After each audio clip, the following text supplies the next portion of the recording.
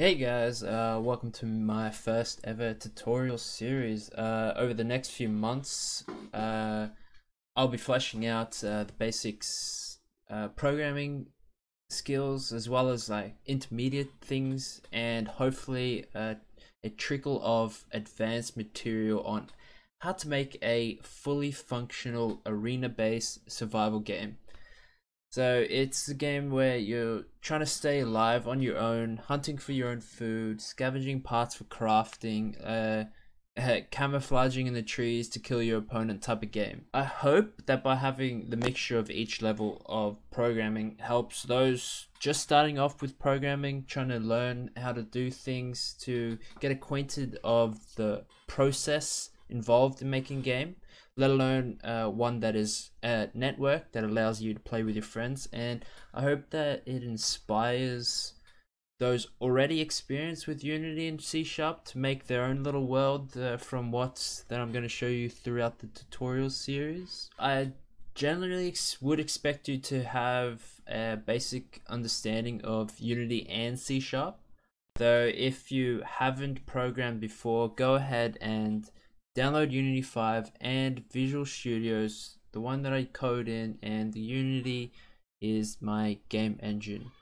As you can see here, this is our current two week goal. So this is what we'll be aiming to achieve within the next two weeks. So we go ahead and host our game here and connect with the client. So right now you can see on your right, uh, the character can look up you can see him look down turn look left look right move around. Uh, you can shoot around shoot enemies and you can go around grappling things. And this is all networked so I, I understand that that grappling doesn't really have anything to do with a survival game but I think it's a really fun little addition that just makes you stand out I guess. So let's get started so we go we go ahead and open up a new project. So go new. We'll call this multiplayer arena. Then we'll call it survival arena.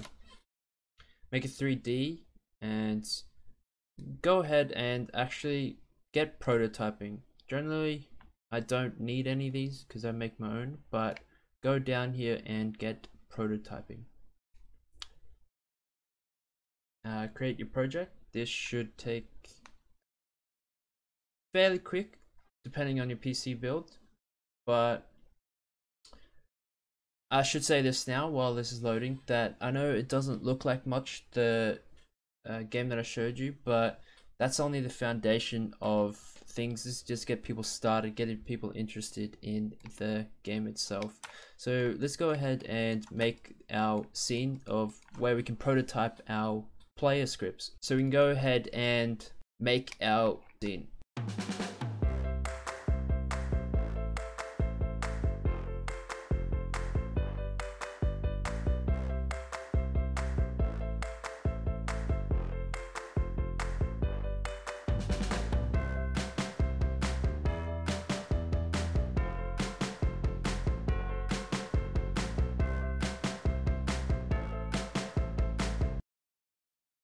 So once we've done that, we can go ahead and create a empty game object and for simplicity's sake, drag them all under the empty game object and call that environment. Uh, generally you do this so you can keep track of everything. Um, in this case, I want to keep all the environment environment in one game uh, empty game object. If you don't know what a game empty game object is, it's basically just as the name suggests, it is just an empty game object. All it has is a transform, and that is it. Um, generally, it's just used to uh, put things uh, underneath, so you can keep it all organized. And talking about organized, let's create a couple folders. Um, first, go uh, go down to uh, your assets box, go to create and go create uh, create folder. I'm gonna get, create two here and call one scripts and one prefabs. you generally we're going to use more as the game progresses, but for now we only need these two.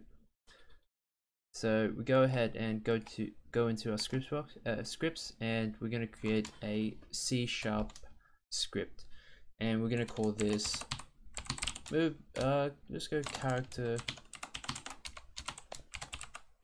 movement.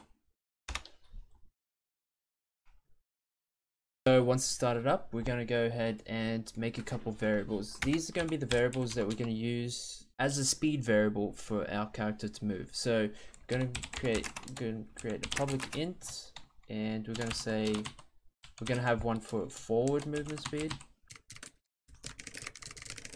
um, and comma. We're going to do side movement speed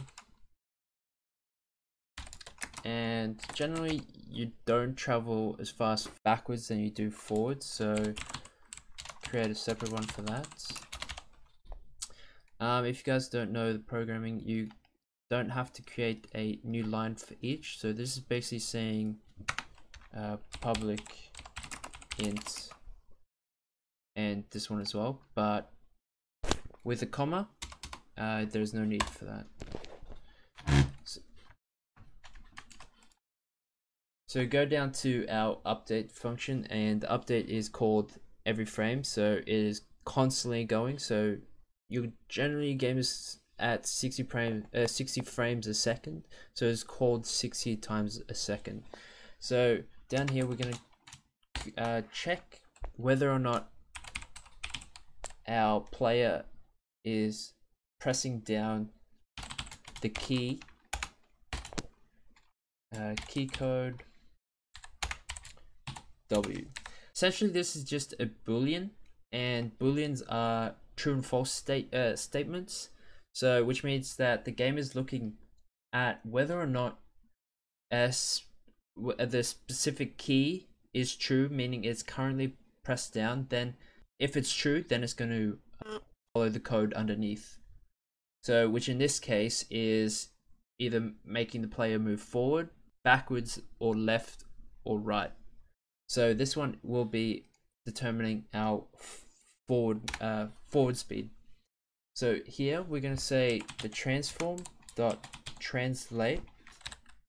So basically this is just saying make our current transform move in our the current the direction we want. So I'll show you how to do that. And translate takes in a vector 3. If you don't know what vector 3 is, it is these three numbers x, y, and z. So go here and say we want to create a new vector 3, another bracket, and here we're going to say for the for moving forward we just want to go 0 on the x, we don't want to move up so 0 on the y, and here we want to say forward movement speed. So, um,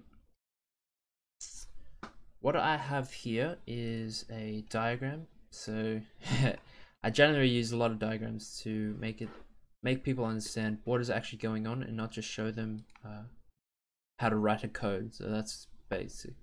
So right here is our character. It's just it's simplified as a box. So here is the x-axis, which goes up, means and z is going away from us and x is just along the horizontal line. So what we're going to be doing is say the box is at the starting point. We're going to say the front of the box is the furthest away from us. So it is the one that we can't see, but it's over here. So we're going to say when we're pressing the, uh, the forward button, we want the character to go forward on the z axis. And if we want it to go left, we go, well, we want to go right, we go along positive x's. If we want to go left, we want to go to the negative x's. I'll show you what I mean by that. Um, so we go back to Visual Studios and we say, as it currently is, the box will travel as such. It will skip forward as many uh, how fast you want it to go. It would skip forward uh, depending on what you have for your forward movement speed. So what we're going to say is we want to times the number by time dot delta time which time dot delta time is basically if you add or subtract to a, to a value every frame the chances are you should multiply it by times dot delta, delta time so and when you multiply it with times dot delta time you essentially express I want to move the object 10 meters per second instead of 10 meters per frame because this is called 60 uh 60 times a second or uh, once per frame. So we want to say we just wanted to go once per second. So we just wanted to smooth along instead of jumping as it would. So we just want to smooth it. And that's basically what time dot delta time does it here. So we go ahead and copy this here. And we want to say this one S so we travel backwards. Um, I just want to have these basic. You can we can start uh, delegating these buttons to whatever the player wants to do. So but here we just have basic uh, the WASD format. So here we want to do back movement speed because we're traveling backwards. And this is where we put a minus. Because of how I said before you because you're traveling this on the positive section now we want to travel backwards which takes us into the negative numbers. Because here it's zero. You go along this line one two three four five six. But if you go this way it's negative one negative two negative three negative four. And the same goes for the z and y axis. So if we want to travel backwards we want to go into the negative numbers. So we go back to our code here. And basically copy uh, just paste it oh, paste this down here and we want to say a. But here we don't want to travel on the z axis. We want to travel on the x axis. So here we want to say the side movement speed times time dot delta time. And instead here again we want to travel into the negative numbers because we are uh we sorry we are going left so we're going into the negative numbers and for the right for going right we want to go into the x the box is facing the same direction as we are facing the screen here. So here we want to travel into the negative numbers and for the going right we just want to travel there and go back to our game here we want to create our character really so this is the character we'll be using for just demoing so go ahead here into the hierarchy, go 3D object and create a cube and a cube should spawn here. Um, we'll just drag him down. He's not going to have a rigid body, he's not going to fall down, he's just going to stay in the air. So we go ahead here over the one and put create a sphere and put the cube as its parent.